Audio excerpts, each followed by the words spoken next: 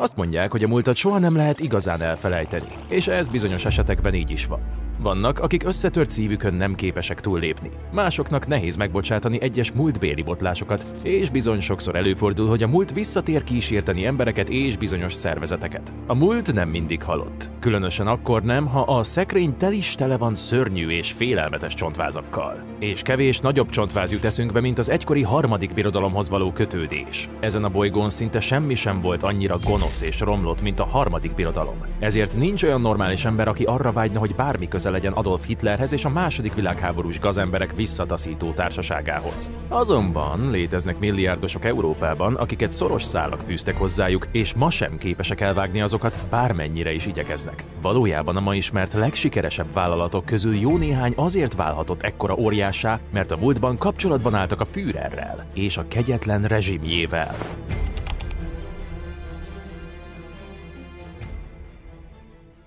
Vegyük például egész Németország egyik leghíresebb süteménygyártóját, a Balszent. A németek már évek óta imádják a Balszem finomságait. A cég azonban nem csak a finom harapnivalók tekintetében, de valójában a német üzleti élet világában is magasra tette a lécet. Hozzá kell tenni, hogy a vállalat a második világháború alatt részben annak köszönhette virágzását, hogy 200 kényszermunkást alkalmazott a hatalmon lévő háborús bűnösök megbízásából. A család, amely a vállalatot vezette abban az időben, a Führer megrögzött híve volt, és pénzt adományoztak az SS-nek. Ezután Kiev mellett nyitottak egy gyárat, ahová a háború alatt kényszermunkásokat szállítottak. Ez egy közismert, bár nagyon kiábrándító tény, amelyel Balsen és a német állampolgárok is kénytelenek voltak együtt élni. Az embereknek évtizedek óta el kell fogadniuk, hogy az egyik kedvenc cégük egykor a harmadik birodalom cinkosa volt.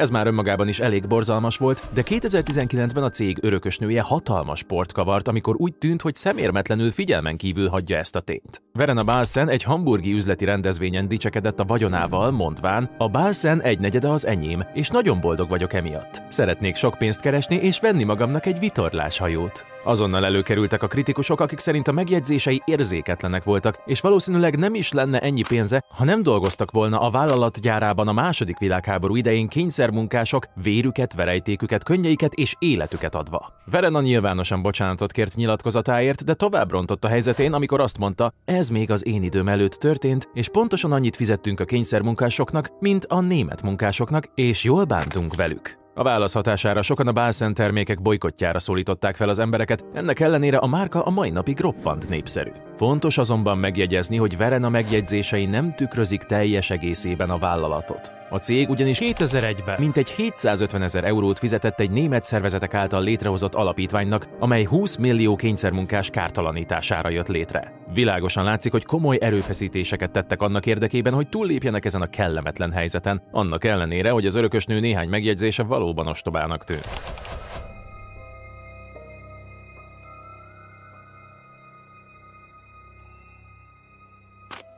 Természetesen nem csak a Balsen az egyetlen olyan ma is működő német óriásvállalat, amely részben a Führerrel való kapcsolata miatt virágzott annak idején.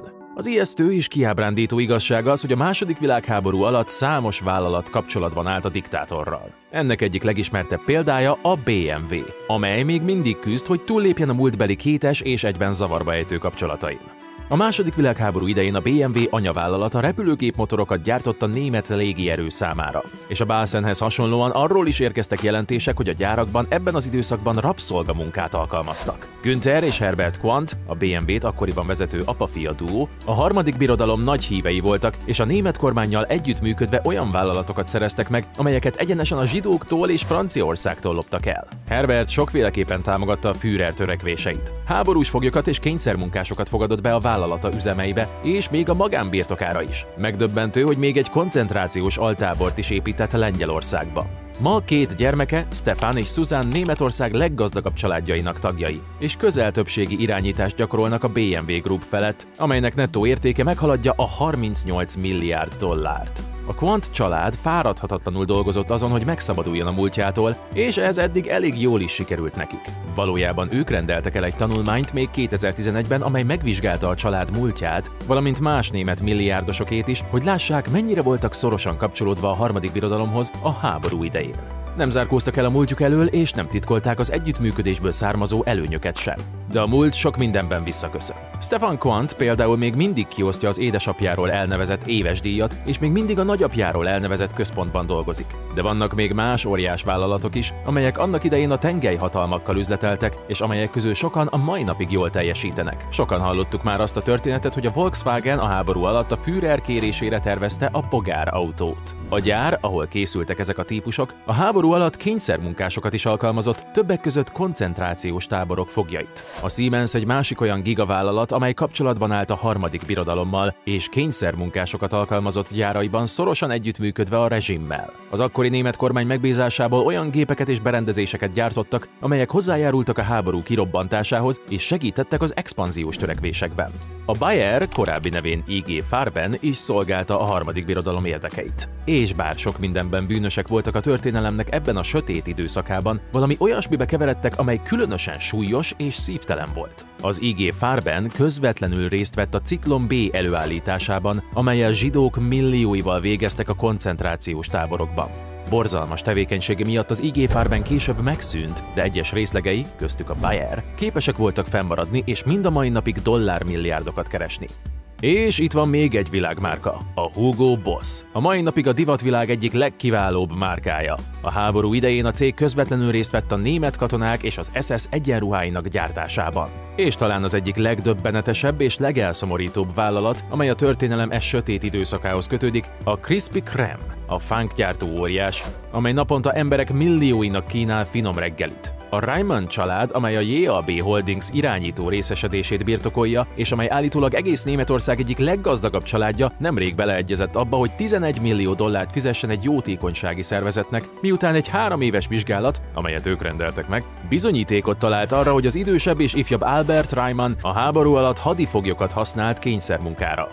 Ráadásul kiderült, hogy mindketten antiszemiták voltak és támogatták a Führert és az ő vízióját. Sőt, idősebb Reimann még adományokat is adott az SS-nek 1931-ben. Ez a két férfi valóban szörnyű tetteket követett el, és a velük kapcsolatos vizsgálat során találtak egy olyan levelet is, amelyet ifjabb Reimann egy helyi polgármesternek írt, és amelyben arról panaszkodott, hogy a francia hadifoglyok nem dolgoztak elég keményen. A JAB Holdings, amely a Pete's Coffee, az Einstein's Bagels és sok más ismert márka tulajdonosa teljes mértékében elfogadta a vizsgálat eredményeit, és azt nyilatkozta, hogy Raymanék bűnösök voltak. A két üzletember már elhunyt, de valójában börtönben lenne a helyük. Peter Haft, a JAB Holdings elnöke és egyik ügyvezető partnere az információk hallatán állítása szerint szégyeltük magunkat és fehérre sápadtunk. Nincs mit szépíteni. Ezek a bűncselekmények undorítóak. És a fánkoktól kezdve az autókon át a vegyi anyagokon keresztül egészen a divatig sok olyan gigavállalat és világmárka létezik, amelynek termékeit ma is nap mint nap használjuk, annak ellenére, hogy szoros és szörnyű szálak fűzték őket a minden idők legkegyetlenebb diktátorához és legszívtelenebb rezsimjéhez.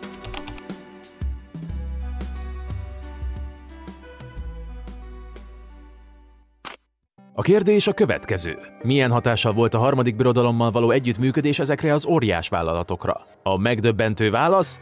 Nem sok. Amint láthatjuk, rengeteg olyan gigavállalat létezik, amely ma is él és virul annak ellenére, hogy a háború alatt a harmadik birodalom oldalán álltak. Egyesek számára megrendítő lehet a gondolat, hogy ilyen vállalatok még mindig létezhetnek. Azok után, hogy másokkal szemben áruló és embertelen bánásmódot alkalmaztak? Néhányan közülük viszont megpróbálták helyrehozni a hibáikat. Mint említettük, több vállalat jótékonysági célból eurómilliókat osztott szét, hogy jóvá tegye a történteket. Azonban elismerték, hogy a cég alapítói valóban szörnyű nézeteket vallottak, és valóban szörnyű dolgokat tettek. És ezen már nem tudnak változtatni. Természetesen sok vállalat nem áll kinyíltan a harmadik birodalommal való közös múltjával kapcsolatban, és joggal érezhetjük azt, hogy ezen változtatni kellene. Németországban és külföldön sokan felszólítják az olyan gigavállalatokat, mint például a BMW-t és a Balszent, hogy tegyenek ennél még többet. Egy ilyen szörnyű és kegyetlen bűn miatt ezeknek a vállalatoknak bűntudatot és megbánást kellene érezniük és tanúsítaniuk tetteik miatt. Még akkor is, ha nem a jelenlegi vezetők voltak azok, akik ezeket elkövették. Létezik néhány gazdag milliárdos család, akik megpróbálnak úgy tenni, mintha mi sem történt volna.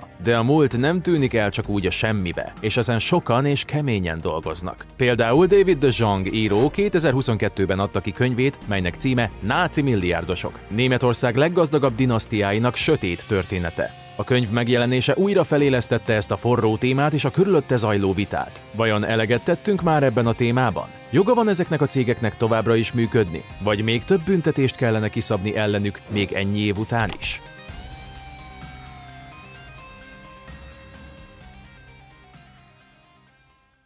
Egyesek igent mondanak, mások nemet. De a kemény igazság az, hogy ezekkel a vállalatokkal valószínűleg semmi sem fog történni. A második világháborúban a zsebüket tömő milliárdosokat közvetlenül a háború után sem bonták felelősségre, és továbbra is vígan működhettek és működhetnek, és továbbra is irányíthatják a német gazdaságot. A Nürnbergi perek után volt némi vita arról, hogy bizonyos német üzletembereket bíróság elé kellene állítani. A közvélemény felháborodott, különösen a világ más részein, és azt szerették volna, hogy mindenki, aki kapcsolatban állt a harmadik birodalommal, bíróság elé kerüljön, majd börtönbe. És bár az igény megvolt erre, sok esetben nem lett belőle semmi. Annak ellenére, hogy sok milliárdos keresett hatalmas pénzeket a háborús Németországban, csak három ilyen tárgyalást tartottak meg. Az egyik per Friedrich Flicket érintette, aki rabszolgamunkásokat használt fel acélbirodalma felépítéséhez. Miután a háború véget ért, Flicket bíróság elé állították, és végül rács mögé került. De mennyit is ült a bűneiért? Mindössze három évet. Egy 2008-ban közzétett tanulmány szerint a becslések szerint akár 40 ezer ember is meghalhatott Flick vállalatánál. Ennyi fájdalom és keserűség ellenére Flick mindössze három teljes évet ült le a börtönben. 1950-ben szabadult, amikor az Egyesült Államok németországi főparancsnoka kegyelmet adott neki számos más német iparos mellett. És még csak nem is kellett élete hátralevő részét a vagyona nélkül leélnie, mert az Egyesült Államok és az Egyesült Királyság visszaadta a pénzét és az üzleti ingatlanjait, beleértve azokat is, amelyekben kényszermunkát alkalmaztak. Szabadulását követően néhány okos üzleti húzásnak köszönhetően Flick további milliókat tudott kaszálni, és ismét Németország egyik leggazdagabb emberévé vált. Ez persze sokaknak szúrja a szemét. A német történelem legkegyetlenebb üzletemberei közül néhányat nem vontak igazán felelősségre. Milliók halálához járultak hozzá, és mai napig nem tanúsítottak semmiféle bűntudatot. Számukra ugyanis csak a profitjuk növekedése volt az elsődleges cél.